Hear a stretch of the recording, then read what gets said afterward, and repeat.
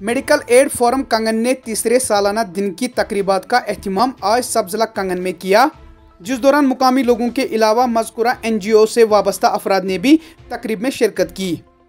इस मौके पर अथरोड कश्मीर के चेयरमैन और जनरल सेक्रेटरी भी मौजूद थे। उन्होंने तकरीब के दौरान कहा कि अथरोड और medical aid forum N G Os ने मुश्तर तौर पर फ्रंट लाइन पर काम किया है, जिसमें कोविड नाइन्टीन मुतासरीन, गुर्दों की बीमारियों में मुबतला अफराद ज़यीफ़ों के अलावा पसमानदा लोगों की मुख्तलिफ़ खदमात पेश की। तकरीब में मजीद कहा गया कि मेडिकल एड फोरम ने कंगन के मुख्तलिफ़ इलाके भी शामिल हैं कि मरीजों को ऑक्सीजन कॉन्सेंट्रेटर्स फराहम किए हैं। उन्होंने कहा कि वो लोगों को एंबुलेंस खदमात भी फराहम कर रहे हैं, जिनको ज़रूरत होती है। इन्हें हस्पतालों में मुंतकिल किया जाता है, जिसमें मेडिकल एड फोरम ने आज एक एंबुलेंस भी डोनेट की। Medical aid forum sub division Kangan के तमाम इलाकों में ग्राउंड ज़ीरो पर गैर मामूली सर्विस कर रहा है, ताकि इंसानी हमदर्दी के साथ आवाम को बहुत ज़्यादा मतलूबा रिलीफ फराहम किया जा सके। पेशे ग्लेशियर टाइम्स की ये रिपोर्ट।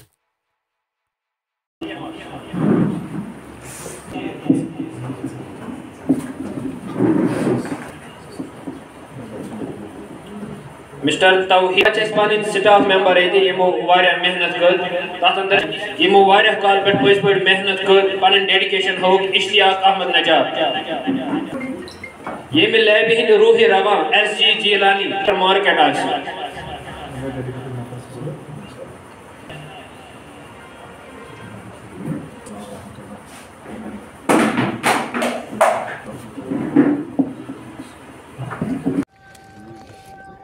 sir, आज यहाँ पर जो मेडिकल एड फार्म की जो थर्ड एनुअल डे इन्होंने मनाया यहाँ पर तो इस हवाले से आप बताइए।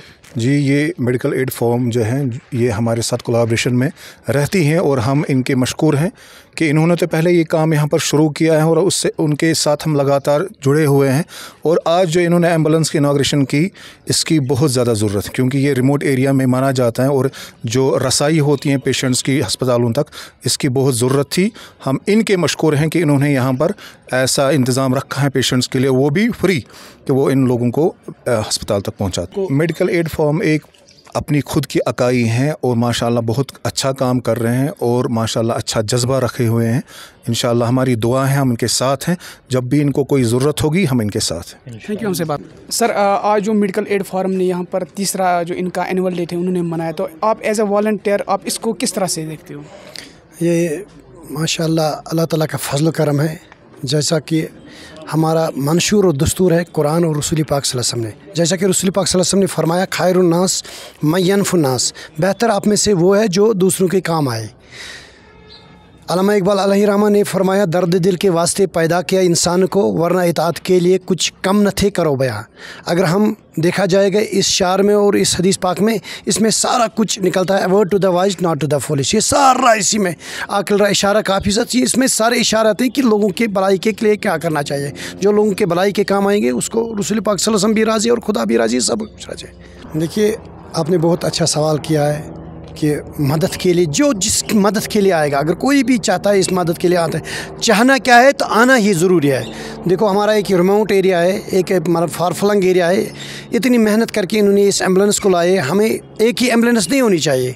मेरे ख्याल से इससे और एंबुलेंस होनी चाहिए, जहाँ जहाँ के हमने, ऊपर हमने डायलिसिस सेंटर का भी मतलब इसका सोचा कि डायलिसिस सेंटर यहाँ बनाएँगे हम, इंशाल्लाह वो भी करेंगे। लैब चल रही है, बाकी कुछ चल रहा है। इंशाल्लाह मैं मतलब अपनी पुरखलूस दावत देता हूँ हर एक इंसान को चाहे वो किस कैटेगरी का हो। मतलब वो आगे आके इंसानों की मदद करे और मोहताजों की मदद करे। थैंक यू हमसे बात करने के लिए। आज हम रोस्टर कम्प्लेक्स कांगन में मेडिकल एड फोरम का सद तीन साल तकरीब मना रहे हैं। जिसमें हमने अथरुट के चेयरमैन, जनरल सेक्रेटरी को मदू किया था और अपने इलाके के मौजूद सामीन को भी मदू किया था। मैं इनकी तहे दिल से शुक्रिया अदा करता हूँ। हमारी मेडिकल एड फोरम का एक मकसद ख़ास कर ये मकसद है कि हम जो भी गरीब और गुरबा लोग हैं, खासकर जो बिलो पोर्टी लाइन है, उनको हम फ्री इन्वेस्टिगेशन यहाँ हम करते हैं और बाकी लोगों को हम पचास परसेंट पचास फ़ीसदी पर हम यहाँ लेबॉर्ट्री टेस्ट करते हैं। हमारी इस मेडिकल फोरम की एक एंबुलेंस कांगन से इलाहा तक और इलाहा से वापस कांगन तक बीमारों के बीमारों के घर तक उनको लेती और लाती है।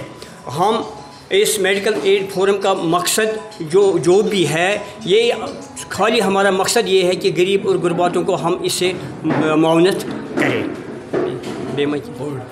अच्छा चूँकि दुनिया में एक वबाई बीमारी फैली हुई थी, इसमें हमने तमाम जिन लोगों को ज़रूरतमंदों को हमने ऑक्सीजन कंसनट्रेटर उनके एक फ़ोन कॉल पर हमने वक्त उनको मुहैया कर रखे हैं।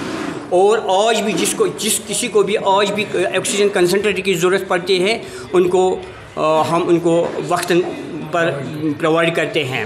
अब हम तमाम आवाम से ख़ासकर वसंत से सोनमर्ग तक तमाम से गुजारिश करते हैं कि हमारे मेडिकल एड फोरम की एक एंबुलेंस है इसका एक टोल फ्री नंबर है जो इस पर डिस्प्ले हुआ है।